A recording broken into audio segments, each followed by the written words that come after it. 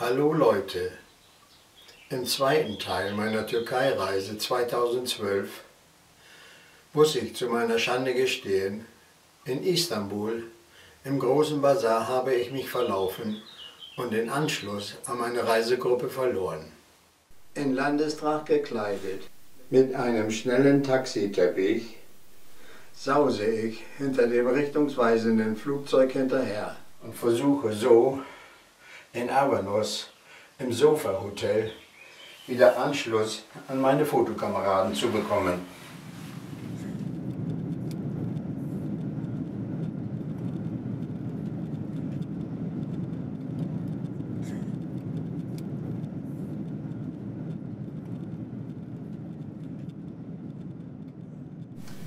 So, liebe Gäste und Filmfreunde, das Sofa-Hotel in Kappadokien habe ich erreicht und stehe vor dem Haupteingang desselben.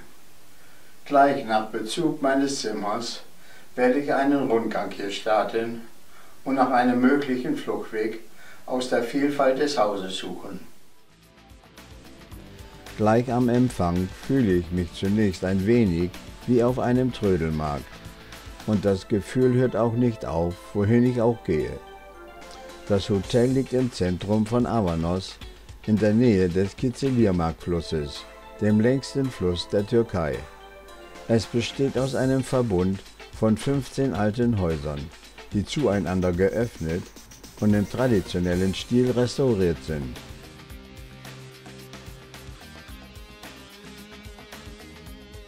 Im Innenraum zwischen den Häusern liegt ein ungedeckter geräumiger Platz mit Tischen und Stühlen für die Bewertung.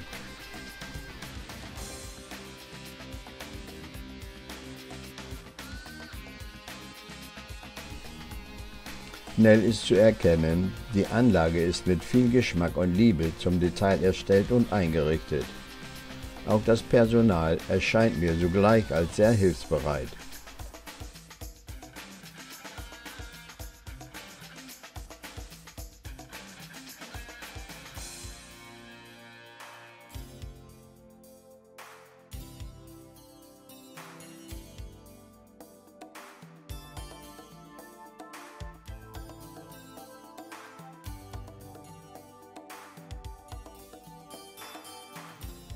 Ich kann mir nun schon gut vorstellen, dass uns hier ein angenehmer Aufenthalt geboten wird.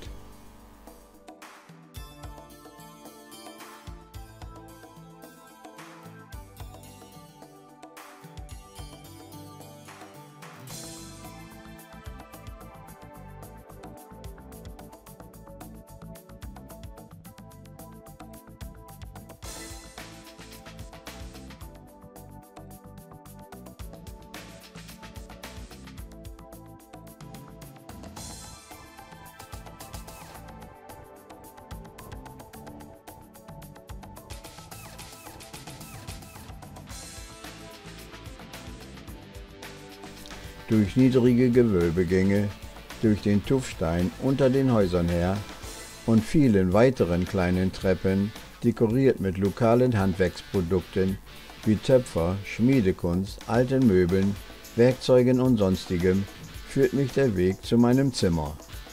Dabei passiere ich zum höchsten Part der Anlage verschiedenartig dekorierte Sitzgelegenheiten.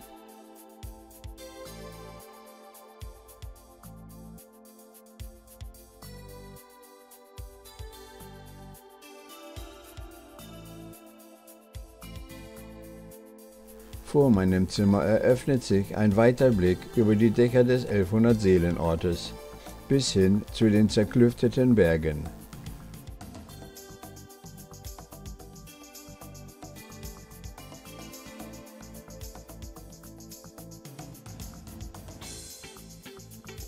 Das Haus mit seinen außenliegenden Zimmerzugängen hat 33 Räume mit 70 Betten. Um sie aber zu erreichen, könnte man glattweg ein Navigationsgerät einsetzen.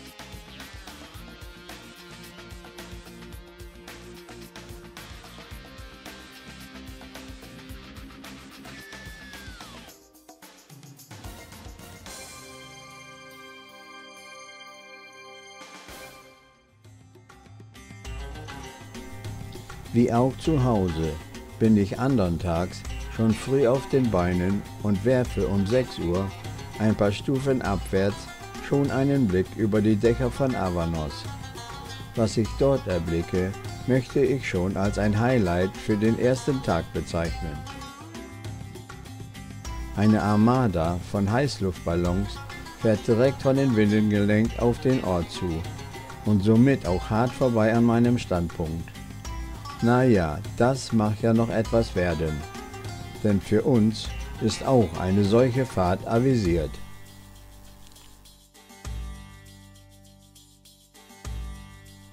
Schnell begebe ich mich vors Haus, denn der Spuk mit den Ballons hält noch eine Weile an. Es war nicht nur früh, nein, sogar sehr früh.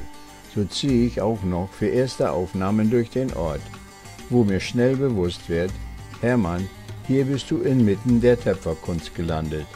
Hier gibt es sicher eine Menge festzuhalten.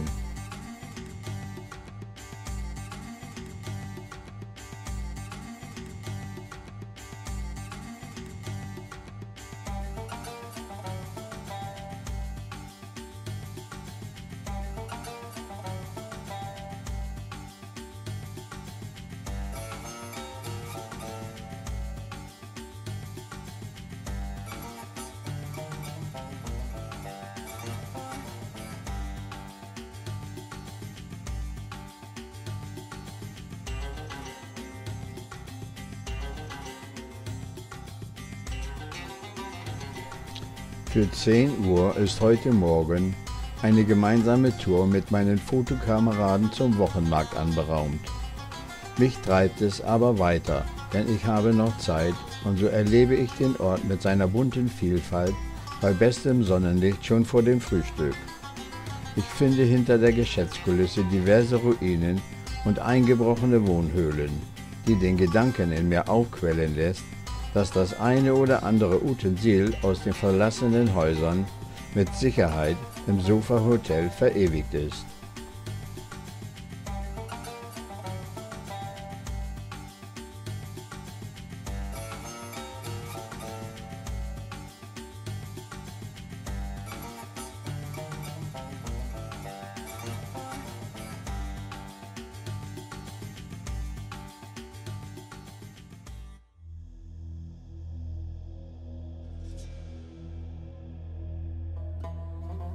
Vorbei an den Gelegen der Gänse auf einer kleinen Insel im Kitzeliermarktfluss und über die Brücke desselben gelangen wir nun zum Wochenmarkt.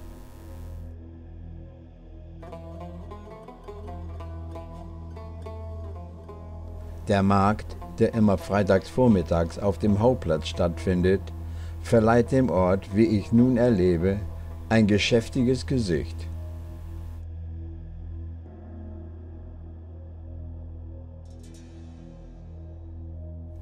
Der Open-Air-Bereich des Marktes ist übersät mit schön im Gleichmaß ausgelegten Gebrauchsgegenständen wie Werkzeuge und Haushaltartikeln.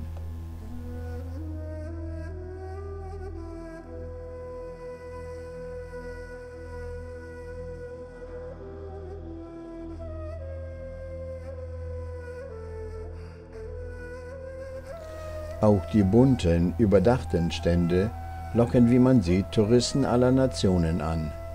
Die Vielfalt der hiesigen Obst- und Gemüsesorten, wie auch alle anderen Waren, bieten ein tolles Bild. Also ein Mix wohlriechender Düfte, Farben, Kleidung, Tuchwaren und Menschen.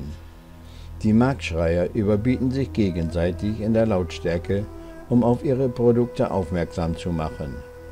Jeder von uns flaniert jetzt für sich durch das bunte Treiben und bewegt seine Kamera, um alles festzuhalten. Ich fühle und empfinde, wir Hobbyfotografen kommen so richtig auf unsere Kosten, denn die Einheimischen lassen sich meistens gerne fotografieren und lächeln schon mal stolz in die Kamera.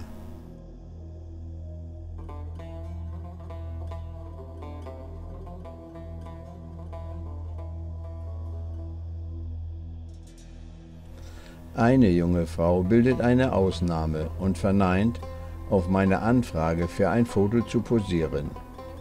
Ängstlich zeigt sie auf ihren Verlobungsring und dem Pascha, der von seinem Lehnstuhl aus mehrere Stände unter Kontrolle hat. Schauen wir einmal, ob mir wirklich ein interessanter Überblick gelingt.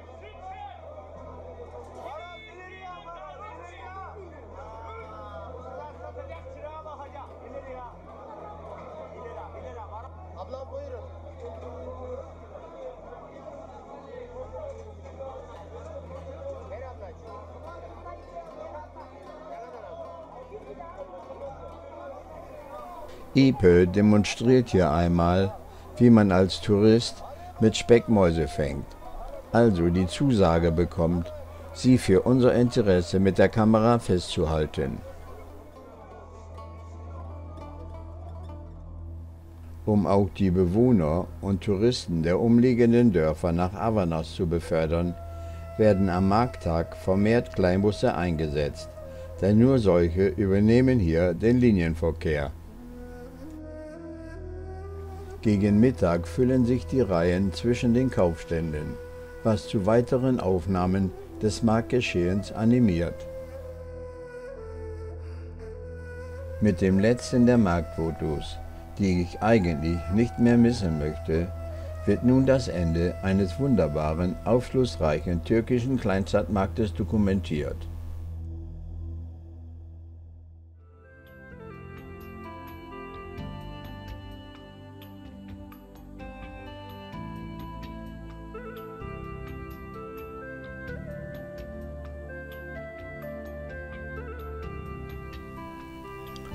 Nach der Mittagspause durchschreite ich den Ort, nun aber bei geöffneten Ladenlokalen, um noch weitere Dinge auf mich einwirken zu lassen. Das Städtchen ist für seine Töpferei mit komplizierten Designs und mutigen Farben weltberühmt.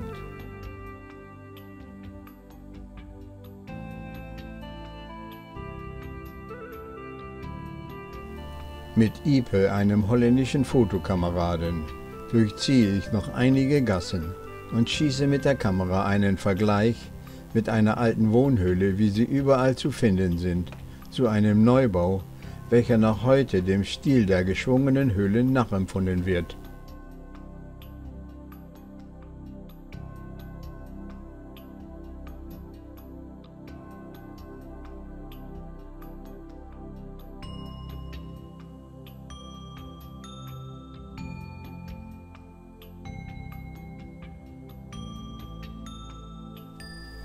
In Kappadokien ist die Töpferei seit Jahrtausenden zu Hause und der kappadokische Ort Avanos ist eines der traditionsreichsten Töpferzentren Kleinasiens. Jedermann hier im Ort beherrscht die Töpferscheibe, weil die Kunst seit Generationen vererbt wird. In Familienbetrieben wie auch beim Töpfer Hakan mit Werkstätten, die bereits über ein Jahrhundert in Betrieb sind, arbeiten sie heute noch althergebracht und nutzen dabei Höhlen als Basis für ihre Werkstätten und Verkauf. Die Tonerde für ihre Produkte wird aus den Kizilirmak, das heißt Roter Fluss und den umliegenden Hügeln gewonnen. Nach einem Tässchen Tee gehen wir von einem Kellerraum zum anderen und bewundern Hakans Produkte. Sie sind so präziös und gleichmäßig gefertigt, dass sie wie Glocken klingen, wenn man darauf schlägt.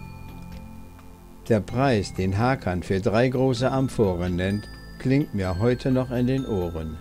In Amerika bekommt er je Stück 10.000 Dollar und hier vor Ort verlangt er 2.000 Euro dafür.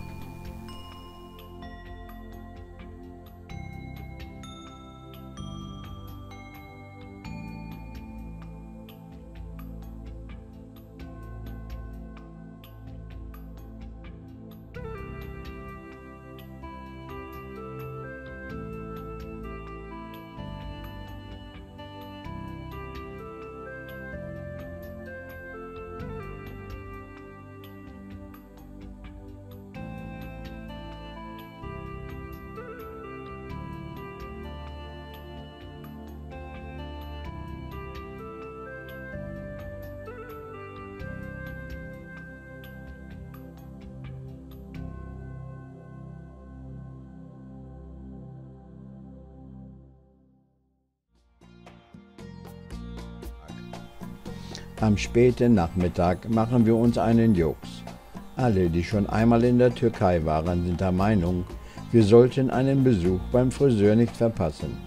Dort werden uns eine Stunde lang für umgerechnet 5 Euro die Haare geschnitten, eine scharfe Rasur gemacht, die Ohren ausgeflemmt und dazu der Kopf massiert, wie auch eine Rückenmassage verpasst. Also los, vier Mann sind wir und rein zum Barbier die Fotoapparate scharf gemacht und schon beginnt der Spaß.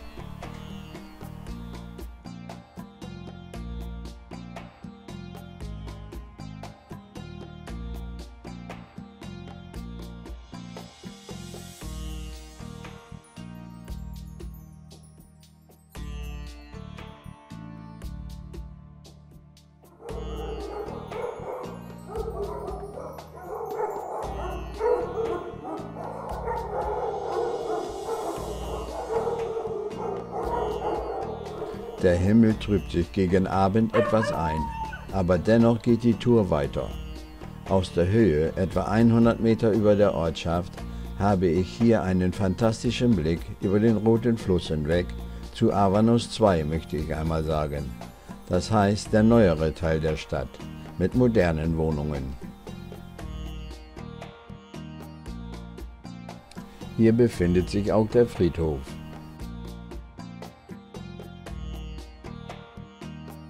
Nun ist in den Jahrhunderten die Erde überall für Wohnzwecke ausgehöhlt worden.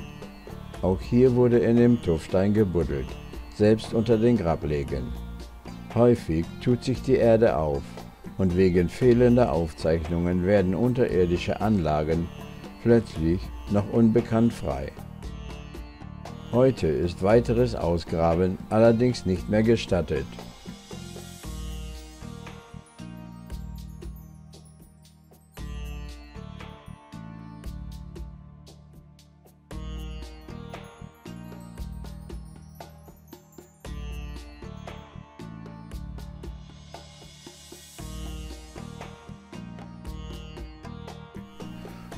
Auf einen fast endlos stufigen Weg zum Hotel erblicken wir dann abschließend noch einmal die Reste der alten Besiedlung hinter der Geschäftsmeile.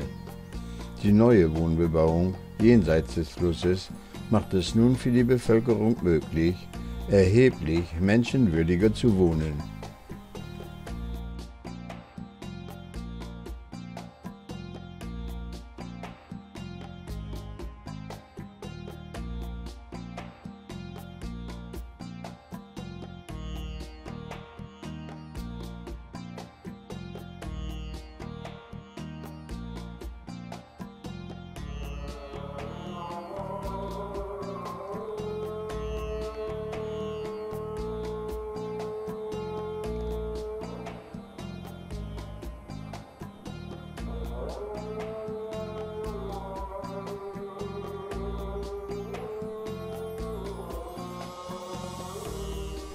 Nach dem Ruf des Muezzins möchte ich noch anmoderieren, dass vom Sofa Hotel aus noch weitere Exkursionen ausgeführt werden, von denen ich in einem weiteren Teil meiner Türkei-Reise, dem dritten also, berichten werde.